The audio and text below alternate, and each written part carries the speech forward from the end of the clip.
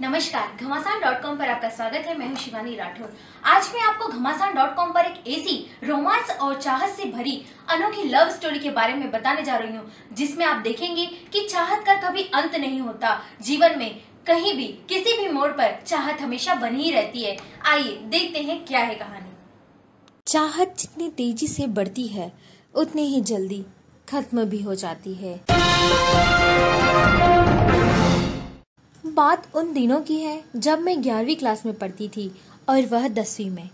हमारी मोहब्बत का सिलसिला आगे नहीं बढ़ पाने का कारण भी शायद यही रहा।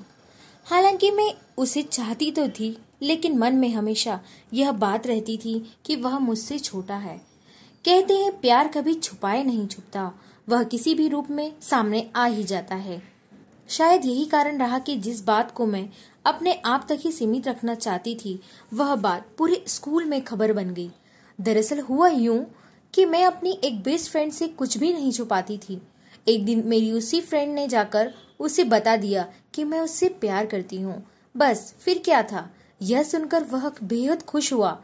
वह कहने लगा मैं खुशी के मारे फूला नहीं समा रहा हूँ। वह स्कूल की सबसे पॉपुलर लड़की है। हालाँकि उसका उतावलापन देखकर मुझे मन ही मन बेहद खुशी हुई। लेकिन बाहरी तौर पर मैंने अपनी फ्रेंड को खूब डांटा कि उसे यह सब बताने की ज़रूरत क्या थी। खैर, उस दिन के बाद हम लगभग रोज मिलने लगे। बहुत ही प्यार और साथ निभाने वाला लड़का था वह। तभी तो मैं उसकी ओर खींची चली जा रही थी। उससे मिलना और बातें करना मुझे अच्छा लगता था। घर आकर फ़ोन पर मैं घंटों बातें करती और अगर एक दिन भी वह छुट्टी कर देता तो पूरा स्कूल मुझे सुना सुना सा लगता था।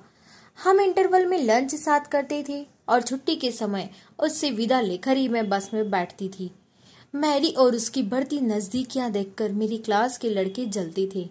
एक बार तो कुछ लड़कों की उससे लड़ाई इतनी बढ़ गई कि दूसरी क्लास के बच्चों को बीच बचाव करना पड़ा। इसके बाद तो हमारी फेम कहानी पूरे स्कूल में चर्चा का विषय बन गई। बच्चे मुझे उसका नाम लेकर चढ़ाने लगे।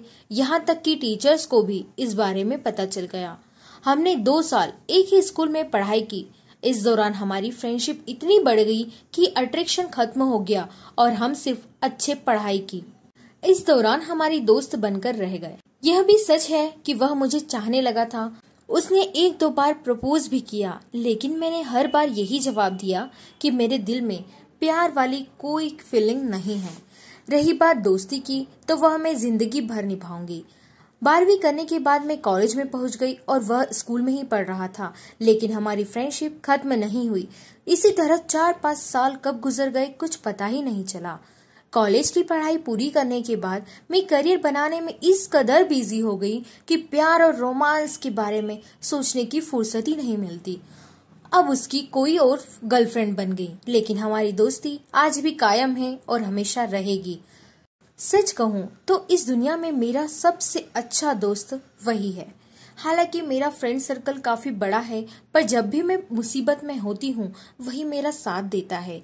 आज मैं सोचती हूँ कि अच्छा ही हुआ जो हमारे बीच प्यार नहीं हुआ।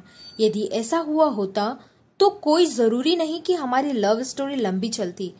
चाह जितनी तेज़ी से बढ़ती है, उतनी ही जल्दी खत्म भी हो जाती है। प्यार करने वाले ज़्यादा दिन एक साथ नहीं चल सकते, जबकि सच्ची दोस्ती लंबे समय तक चलती है। Subscribe our channel and press the bell icon for more updates.